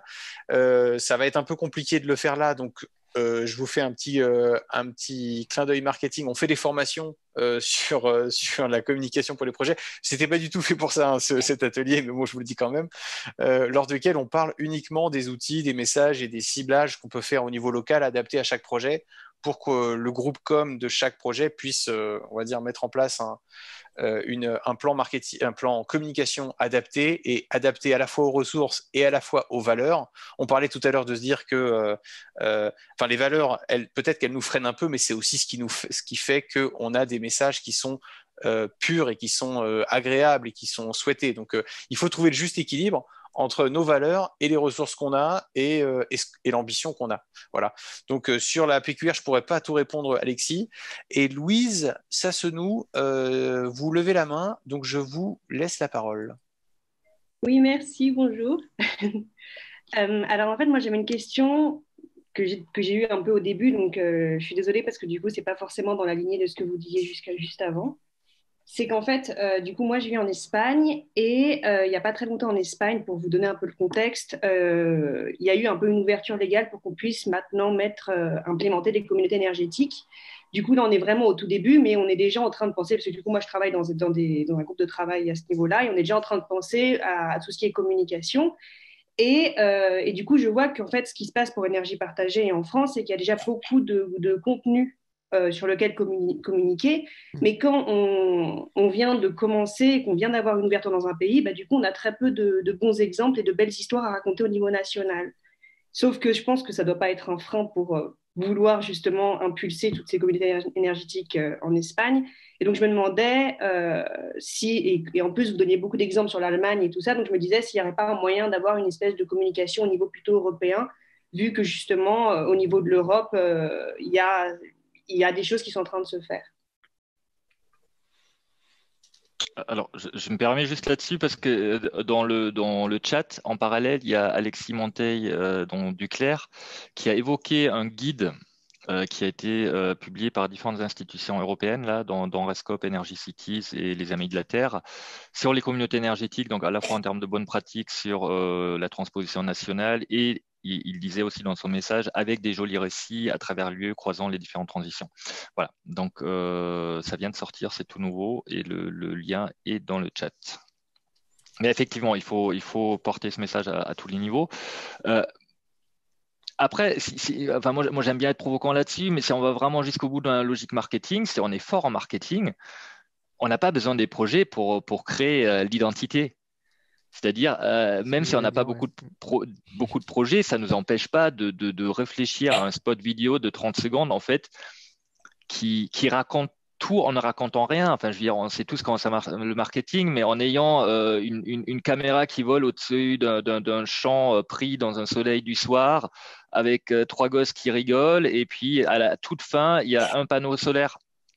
Rien ne nous empêche de faire ça, même si on n'a pas beaucoup de projets. Donc, c'est, enfin, je veux dire, je pense qu'on est, tous souvent trop pris dans nos réalités qui sont les nôtres et qui sont faites de complexité, de kilowattheures, d'attention, il faut bien qu'on précise que nous, ça fonctionne comme ça, que nous, euh, la gouvernance citoyenne, c'est 40% euh, d'actionnariat local et aucun autre actionnaire qui a plus euh, que, ça. Et on oublie en fait de, comment parler à d'autres gens. Mmh, mmh. Beaucoup. Et ça, me fait penser que au, au, début d'énergie partagée, au début, au moment où je suis arrivé en tout cas, où du coup on n'avait pas 300 projets, on en avait peut-être 20 à l'époque. Bon, du coup, il y a des gens qui sont dans la salle qui sont encore plus euh, anciens que moi et qui, du coup, ne pouvaient pas vraiment se mettre des projets sous la dent. Et on avait l'Allemagne et la Belgique qui nous narguaient en disant, bah, nous, on en a plein. Euh, et ben, faut pas hésiter à utiliser ce qui marche ailleurs, même, euh, même utiliser des photos de dynamique qu'il y a dans d'autres régions, utiliser les outils des autres. Enfin, voilà, euh, effectivement, euh, les valeurs, elles sont déjà, elles sont déjà fixées. Il n'y a plus qu'à faire un narratif autour et à le faire prendre. Après, en Espagne, il y a aussi en Catalogne, il y a quand même une grosse dynamique avec Somenergia. Il y a quand même pas mal de choses qui existent. Alors, je comprends que Espagne et Catalogne n'est pas exactement la même chose, mais, euh, mais il y a des choses sur le territoire espagnol qui bougent pas mal, quoi si je peux compléter, donc pour, euh, pour euh, raconter l'histoire, effectivement, on n'a pas besoin d'avoir forcément du contenu, ça, ça donne euh, une légitimité supplémentaire, mais, mais, mais ce n'est pas forcément nécessaire. si vous connaissez ou pas, vous avez déjà vu des vidéos en motion capture, c'est la mode en ce moment où vous avez des petits dessins. Et, donc, vous pouvez utiliser ça en fait, si vous voulez raconter l'histoire, si vous voulez raconter des gens qui se regroupent euh, dans, un café, euh, qui finissent par se mettre d'accord sur un projet, qui ramènent le maire euh, et qui mettent de l'argent dans un, cochon. vous arrivez, vous mettez des panneaux solaires sur, l'école et derrière, vous avez un enfant qui met son nom sur le panneau. Qui, qui voit son, panneau explicatif avec le nombre, les petits chiffres qui tournent de la production d'énergie et euh, les gens qui récupèrent de l'argent euh, de la production d'énergie. Euh, vous pouvez le faire sous forme de dessin sympathique et finir par deux enfants ou cinq enfants qui viennent vous dire bah, Moi, mon panneau, c'est celui-là, il est sur mon école, rejoignez-nous. Vous voyez? C'est toujours possible. C'est des outils, ça. Et il ne faut pas hésiter à le faire parce que ce qui est important, c'est le message et les valeurs. Et donc, si ces citoyens si ça a des retombées sur le territoire, c'est ça les deux messages clés que vous voulez passer, et euh, on a besoin de tout le monde pour accélérer la transition, bah, une petite vidéo comme ça, ça, permet de le faire passer euh, sans contenu en fait. Ouais, et, l'importance aussi par rapport à ces valeurs de se définir en amont, de, se dire on, on, parle à un, tel euh, à un tel et on dit ça et on va utiliser tel moyen, de pas se ruer justement trop sur les moyens trop vite, mais de, de réfléchir à diagnostiquer qui on est vraiment, notre particularité en tant que projet ou en tant que grand projet comme l'énergie citoyenne, mais on va dire au niveau des projets locaux, qui on est, dans quel territoire on, vient, qui compose ces gens individuellement, d'où ils viennent, quelles sont nos valeurs, quelles sont même dans nos vies les, les, anecdotes, les moments qui font qu'on s'est engagé. Enfin voilà, faire un diagnostic un peu complet pour euh, analyser vraiment les valeurs et se mettre ensemble d'accord à se dire, ok, ça c'est vraiment un point qui nous importe, nous particulièrement, par rapport aux autres centrales ou aux choses qui est autour. Nous, c'est vraiment cet axe-là qui nous intéresse. Et, on va du coup euh, utiliser un moyen qui nous, correspond. Et on va, on va parler aux gens avec une manière qui nous correspond, qui est nous. Et on va le faire le plus efficacement possible parce qu'on ne veut pas spécialement s'auto-censurer. Donc on va le faire très efficacement, mais en respectant ce qu'on est. Voilà. Et donc c'est un travail de, diagnostic initial qui est, qui est important de mener et qu'on peut avoir tendance, lorsqu'on se lance dans un projet, à, chanter un peu et à tout de suite se ruer sur bon allez on fait un site, on fait une plaquette, on fait ça. Ouais, mais concrètement qui on est initialement? Et, juste pour compléter, Marc, ce que c'est qui, on est, c'est sur les messages que tu veux passer, mais ce qui est important, c'est qui tu veux toucher. Hein. Les profils des gens que tu veux toucher. C'est sur le territoire. Et quel que soit euh, le collectif, euh, toutes les bonnes intentions qu'ils ont, etc. Ce qui est important, c'est qui tu veux toucher et quels sont les messages qui les touchent eux. Donc il faut, il faut adapter ça, hein, c'est les profils. Hein. Parce que faut faire attention à ne pas se parler à soi-même, en fait. Il faut parler aux autres. Alexis, je vois que tu j'arrive pas à t'enlever ton. Ah bah tu peux peut-être te démuter tout seul, Alexis? Bon, tu y arrives? Oui. C'est bon. Super. Merci de me donner la parole. Je me parlais juste une petite, euh, une petite, euh, une petite remarque. Euh, je me rappelle une, un groupe de travail qu'on avait, qu'on avait mené qui est, et la question, enfin tout ça, un débat mouvant et la question c'était est-ce qu'on mobilise pour ou est-ce qu'on mobilise contre? Et euh, par rapport à cela, euh, j'ai euh, l'impression, en tout cas pour voir ce que peuvent faire les opposants honneurs aussi, c'est leur grande capacité à parler d'eux en parlant des projets, de tout ce qui se passe sur, le, sur le territoire. Par exemple, saisir le moindre projet qui sort pour en fait parler de parler de parler d'eux. et du coup, j'ai l'impression que par rapport à cela, il y a aussi une nécessité, même si le réseau énergie partagée euh, euh, et un réseau de solutions, un réseau de, mise en, avant de récits positifs et de projets qui, qui mobilisent pour, je ne sais pas comment dire, mais en tout cas, qui a aussi, il peut aussi avoir des, un intérêt à, parler de soi en parlant des projets qui ne conviennent pas ou qui ne rentrent pas dans cette logique-là. Un projet de méthanisation tout à fait démesuré, un projet éolien tout à fait extérieur au territoire euh, qui arrive en mode euh, euh, char d'assaut peut être aussi des, moyens pour faire parler de soi, non pas pour créer ou mobiliser une opposition, mais en tout cas pour essayer de, faire cette transition entre une opposition et du coup une, mobilisation, à dire, porte, porteuse de, de, des valeurs du, mouvement et du réseau. Et puis peut-être par rapport à, à, ça aussi, je pense à des travaux qui ont été menés sur la participation citoyenne et qui étaient intéressants. Ils montraient comment des collectifs anti-gaz de schiste en Ardèche sont passés ensuite à la promotion des ENR. Et je trouve que c'est intéressant de se dire toujours à chaque fois comment est-ce que en fait on crée des alliances avec des mouvements qui vont être en opposition au statu quo c'est-à-dire la place à la mainmise des gros euh, opérateurs énergétiques, pour que justement le réseau qui apporte des solutions soit aussi mis en avant. Et je pense que cette complémentarité entre euh, on mobilise contre un statu quo, mais aussi on mobilise euh, en faveur de projets positifs et de récits positifs, sont un peu les, deux facettes d'une même médaille, et qu'en ce sens, il peut y avoir, un avis, des stratégies locales assez intéressantes à mener pour justement arriver à cela. En tout cas, c'est ce que font nos opposants.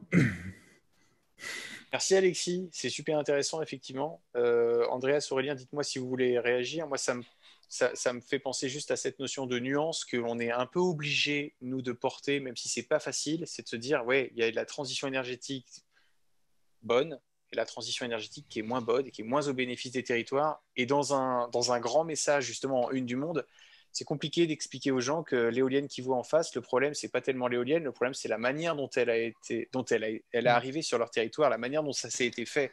Et du coup, se pose aussi la question de notre, notre place vis-à-vis des anti, des anti, par exemple, éoliens. On a tendance à se dire, bah non, anti-éolien, c'est forcément les gens qui sont contre nous.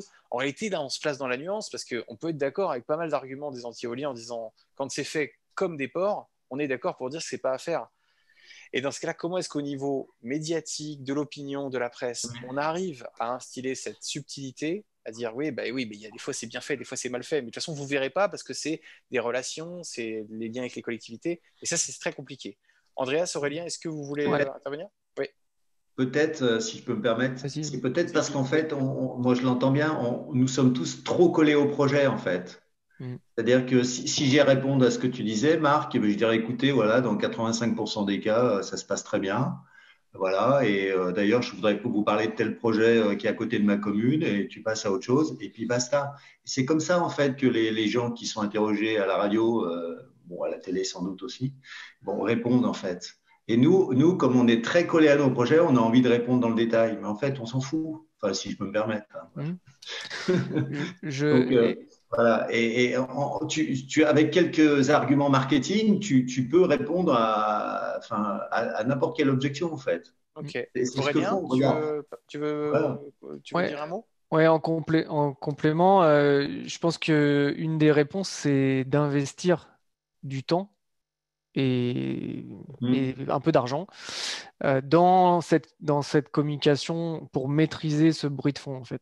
Et donc, euh, quand vous avez des projets qui arrivent sur le territoire qui ne sont pas tout à fait euh, dans les mêmes valeurs que vous défendez, bah, si vous investissez pas, si nous, on n'investit pas pour expliquer en quoi on est différent, eh ben, on reste collé à nos projets, comme Luc le disait. Et donc, nous, on fait très bien de notre côté, mais, mais on, on ne contrôle pas le bruit de fond ambiant euh, qui, qui est mené par d'autres. Et donc, euh, il faut réallouer des ressources sur, euh, cette communication-là, globale ou nationale, quand c'est des fake news et ce genre de choses, ou locale, pour bah, passer des messages avec les valeurs qui, sont les nôtres. Mais il faut réallouer du temps sur des projets différents ou contre. Parce que les autres n'hésitent pas à utiliser l'ensemble des projets pour parler d'eux. Vous voyez? Ouais, si, si, je peux me permettre. Oui, euh... du coup, Andrea, ce sera sans doute le mot de la fin car il est 13h29. Donc, euh, tu grosse pression. ouais, grosse pression. La conclusion. euh, alors, sur ce que disait Alexis, et euh, alors je vais essayer de le tourner en, en conclusion. Euh, c'est à la fois très intéressant et très risqué parce que le, le, le fait de, de, de, se dire est-ce qu'on peut aussi communiquer contre et mobiliser contre, euh, c'est un axe intéressant en termes de décalage. Ce que je disais tout à l'heure, c'est aussi euh, la note d'humour qui nous manque peut-être parfois, le, fait d'être un peu funky, un peu décalé. Euh, il faut faire attention aux tirs croisés. Je pense mobiliser à notre échelle contre d'autres projets d'énergie renouvelable qu'on considère comme moins bons, c'est pas le bon axe. Je pense qu'on on risque de se tirer dans les pieds parce que c'est déjà un message qui est beaucoup trop compliqué à comprendre pour la majorité des gens, y compris des journalistes. Et si on n'a pas, enfin, c'est quelque chose qu'on peut se permettre de faire quand on se situe dans, la perspective de ce qu'évoquait Aurélien, c'est-à-dire on a un plan de com, on, génère un bruit de fond et une fois qu'on a généré cette acculturation euh, pendant 2-3 ans, on arrive à, faire passer des messages beaucoup plus subtils. En se disant, là, regardez, vous comprenez maintenant pourquoi on vous dit que tel projet de méta et tel autre, c'est pas la même chose. Pourquoi tel projet mais, il faut d'abord créer le contexte pour que ça marche. Avant d'en arriver là, je pense qu'il faut rester sur des messages beaucoup plus simples. Et, euh, sur cette, cette idée de mobiliser contre, en Allemagne, ça a été évidemment très très fort, mais c'était contre le nucléaire. Euh, donc il y avait un storytelling qui était, euh, qui était là sur la table, qui permettait à tout le monde de s'engouffrer dedans de dire euh, voilà nous comment on se positionne là-dedans. Et, euh, et, du coup euh, bah, c'était un storytelling qui, qui, convenait aux médias, qui convenait aux citoyens, qui convenait aux projets et je pense qu'en France on a du mal à le trouver. Parce que sur le nucléaire on perd trop de gens aujourd'hui qu'on qu voudrait malgré tout euh, embarquer. Et que du coup, pour l'instant, je pense que vraiment, euh, on a, on a, on a d'autres atouts à faire valoir. Et dans, dans l'époque qui est la nôtre, la période qui est la nôtre, pour être de nouveau tous en confinement, donc en, quête totale de, de lien social à tous les niveaux, je pense que ce qui vraiment nous différencie aujourd'hui, c'est ça. C'est euh, la capacité à mobiliser euh, au niveau local, la capacité à créer du lien social, et c'est ça aussi, c'est euh, les, projets ne créent pas uniquement des kilowattheures. Ils créent des histoires humaines, ils créent du lien social, et, si on arrive à raconter ces belles histoires-là, euh, quelque part, on, a gagné, parce qu'on parle à des gens qui n'ont jamais entendu parler de kilowattheures. Et c'est quelque part ça, je pense qu'il faut qu'on arrive à se mettre en tête pour arriver en une du monde. Super. Magnifique conclusion. Je vous ai remis la, une du monde pour que vous puissiez aller manger en vous disant tiens, c'est possible. La preuve, c'est déjà fait. Et euh, je vous remercie, Andrea, je vous remercie, Aurélien, je vous remercie, Luc, euh, Jean-Marc, tout le monde, tous ceux qui ont, sont intervenus et ont participé. C'était très chouette. C'était enregistré, donc si vous voulez le transmettre à d'autres euh, personnes de vos collectifs ou de vos structures, ce sera faisable dans les jours qui viennent. Et voilà, il me reste à vous souhaiter un bon, bon après-midi, un bon week-end.